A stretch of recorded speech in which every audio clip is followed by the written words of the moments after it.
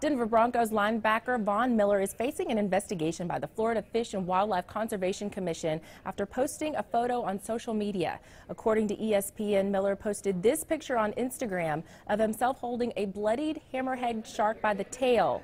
Miller also posted video of the catch and release of the shark, but it shows the shark floating away on its side before disappearing underwater, making it difficult to tell if it was alive or dead.